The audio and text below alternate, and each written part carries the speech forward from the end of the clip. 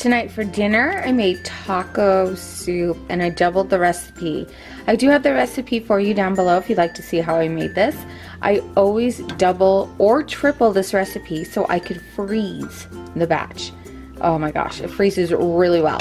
In my bowl, I added a little dollop of sour cream and some cheese, and this is Mexican cheese. A mild cheddar, Monterey Jack, that type of cheese. It's so good.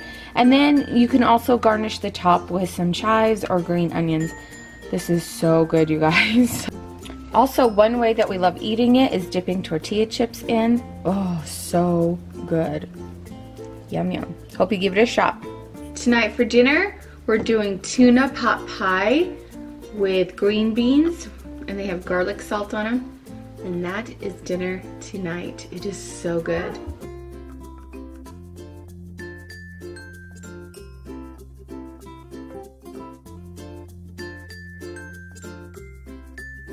Mmm, I just made sloppy joes and this is the Pioneer Woman recipe and I doubled it so there is four pounds of meat here and then when we're done eating tonight I will bag up the rest and stick it in the freezer.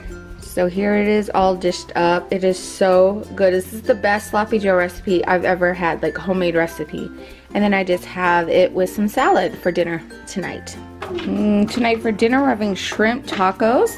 I do have a video on this if you'd like to see, but there, it's cabbage at the bottom and it has cilantro lime dressing mixed in with it. And we sauteed up some shrimp with tarragon, thyme, a little bit of garlic salt, and put a little more of the cilantro lime dressing on. It is so good. And I have the recipe again down below for you. Mm, tonight for dinner, we're having minestrone soup.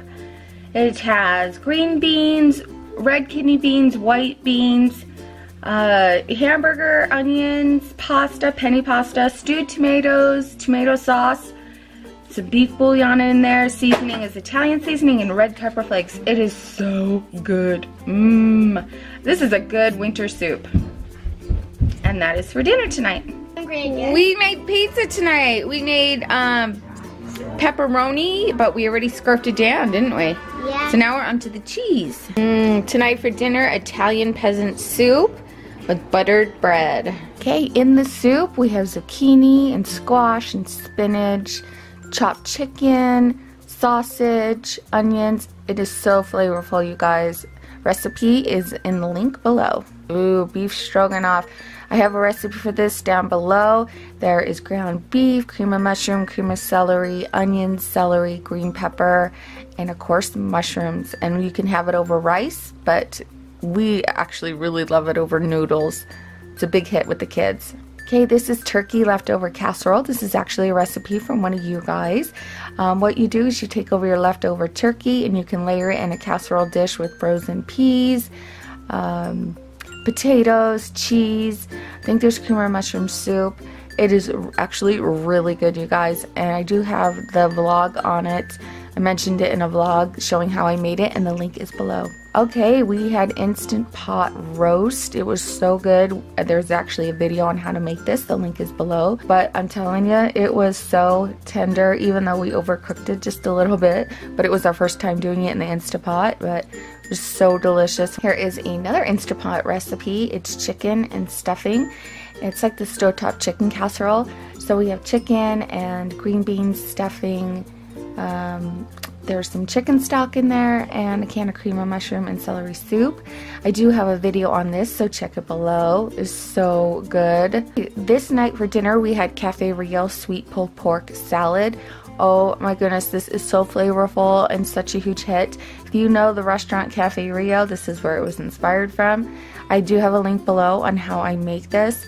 Oh my goodness, go check it out. This is so good, especially with that cilantro lime dressing. Also will be in that video when you see it. So good. Okay, another Instant Pot recipe. We made homemade mac and cheese. Oh, this was creamy and delicious, and my kids absolutely loved it. I do have a video on it, and when you see the video at the end, um, the mac and cheese looks runny. Uh-uh. Let it sit for a few minutes. This mac and cheese thickens up. It is so good. So go check it out in the links below. So we went to our friend's house and they made a smoked pork belly for dinner. It was delicious. So good. Derek and I ended up making it for dinner um, one night in our Traeger. I did have footage, can't find it. But oh, smoked pork belly is so good. You gotta have Brenner for dinner one night. So I made scrambled eggs, pancakes, and of course bacon. It was delicious. Breakfast for dinner is always a hit. Okay guys, here I have bacon ranch chicken. This is a new recipe that I tried out from, from a cookbook that I absolutely love, Busy Moms on the Go by Susie Roberts. This is part of the Fall Back in Love with Your Cookbook Challenge. So here it is for you this week. I did uh, the bacon ranch chicken and now it's one of our favorites and it's definitely going to be in rotation quite a bit. I do have a video coming up uh, on showing how to make it. If it's already posted, the link is below. And we had Navajo tacos one night. So good. I made fried scones and we put pinto beans and taco meat on top with some cheese, tomatoes, lettuce, and ranch dressing. So good. The kids absolutely love Navajo tacos. So that is a look at our month of January. I hope this inspired you to try new dishes or think of something new that you could add into your meal plan. So thanks for joining me today, you guys, and we will see you soon. Bye.